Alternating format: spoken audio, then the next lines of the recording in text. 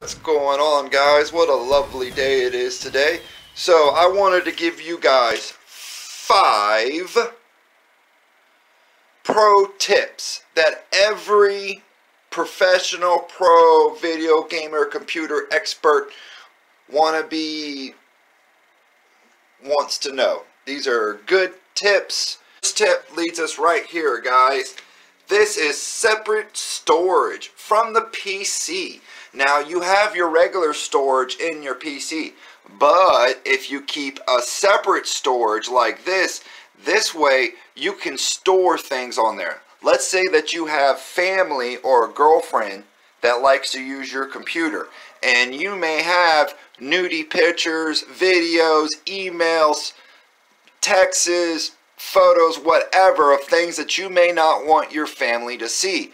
But if you store it on your computer, there is a good chance that somebody could find it. So, my first pro advice is get a separate drive. Keep everything private on the second drive. And all you have to do is disconnect it. And that way, when your fans, your family, or your friends come to use your computer, they will not have access to that drive. So that is my first piece of pro advice get you a second hard drive especially one that sits outside of the computer. As you can see I don't have a back panel. That is my second pro tip. Leave the side panel the back panel off of your computer. No one will see that. Nobody. I mean when you come in in my room and you see my computer, you can't tell that the, that the other back plate is off. And the reason why I do that is because it's great air. It really helps with the PC out. Getting that extra airflow in there is essential, especially since my case doesn't exactly have the best airflow structure built into it. So, all you need to do is take the side panel off, guys, and you will run a lot cooler and it will not mess with the airflow statistics of the computer. Meaning if you have the fan set to blow in and suck in in certain ways, having the side panel off will still allow you to create that vacuum that you're looking for, that force of wind. But with the side panel off, the computer will stay a lot cooler and no one will know. Now, since we're talking about computers, that actually leaves me to my number three pro tip. Don't put the computer on the floor. That is a horrible idea. Your computer will be more acceptable to dirt, dandruff, pollen, cat hair, dog hair, rabbit hair. All kinds of crap lives on the floor. And plus, if it's underneath your desk like that, there's a pretty good chance that your wheel on your chair will hit it, you will kick it, a friend will kick it, so on and so forth. So it is an incredibly pro tip to keep your computer on the desk. Do not put it on the floor, guys. And definitely just, just don't do that, ever. It's not a good idea. Talking about computers, that actually is going to take me in to my number four pro tip don't use the graphics card and the motherboard I.O. It doesn't work that way. You can see I have a dual monitor set up. Now, enable for me to get that dual monitor, you would be surprised on how many people often, I mean often, and I get the phone call, uh, why I'm trying, I, I have two panels, um, they're both plugged into the computer, but I'm not I'm not getting two signals. What's going on? Okay, what they'll usually have is they'll have one of their monitors plugged into the graphics card, and because they don't have the other type of connector, but the motherboard will have it, they'll plug it into there. Don't do that.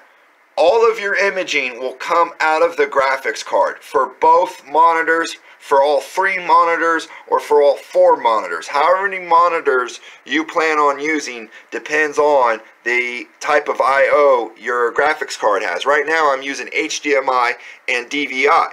Well, if I had a DVI, or let's say I had an HDMI, but I didn't have a DVI plug, I didn't have that adapter there. Well, I would plug the other HDMI into the motherboard thinking that that would work. And that does not work. That is incorrect. Everything has to be plugged into the graphics card. Just go down here and type in display. And as you can see, you'll get this, one or two. And if you don't see two, then you can hit the identify button and it should pick it up. If not, you can unplug and replug in the card or the monitor a few times until the system picks it up. Um, this will be my fifth suggestion. Um, I thought that, you know, these five pro tips would definitely help. Um, they're definitely good things to know. The fifth one is never mess with the volts. Never mess with the volts on anything. I mean anything. Never mess with the volts on your graphics card, on your CPU, or on your RAM. The reason why you don't want to mess with the volts is because messing with the volts is a good way of immediately killing your hardware. You want to kill it, overvolt it, or undervolt it. Uh, starve it or give it too much electricity and see what happens. You will kill that device immediately.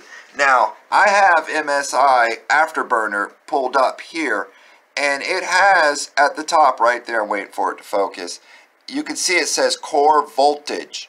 And then it says power limit. Alright, I never mess with those two settings. I only mess with the core clock and the memory clock setting. Same with the graphics card, the CPU, and even the RAM. I mess with the timing on the RAM sometimes, and even sometimes the speed of it. But yes, kill whatever you're playing with. Um, the CPU, you can just increase the megahertz, you know, the factor. Just don't play with the volts, guys. The volts will kill you dead. 1.3 volts is uh, pushing it. So usually you want to run it like 1.1, 1.2. Um, some RAM sticks, like some of the newer sticks, do run at 1.3 volt. Uh, but anything over 1.3 volts is pushing it. Um, period. You probably will kill something. But yes, guys, those were my five pro tips of advice. I hope you guys like that. Separate your storage from the from your main one. Don't let nobody know it. Alright? Leave the back panel off. Don't put the PC on the floor. Alright? Don't use your motherboard's I.O. Only use your graphics card. Now, the motherboard does have I.O. for like your, you know, USB and power switch. That's not what I'm talking about. I'm talking about the connectivity I.O., the one on the back that's like your HDMI or, v, or your VGA plug on the back of the motherboard. Don't mess with those. Just use the graphics card. Okay? And then, of course, never mess with the voltage. That is a bad idea. So, those were my five pro gaming tips. I hope they helped you guys out. Um, we will give more pro gaming tips in the future. I just basically wanted to rattle off a couple of them that I thought were good pieces of advice to know. So yeah, make sure to subscribe and like the video. Check out our other channel. And thank you guys. We appreciate y'all. If y'all have any other good rules, please list them in the comments below.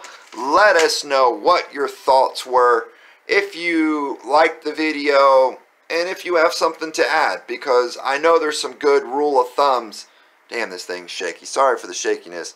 Um, I know there's some good rule of thumbs that need to take place and I know there's some good rule of thumb rules. So let's hear them. Sound them off in the comments, guys. Thank y'all. Y'all be good and, well, we'll see y'all next time.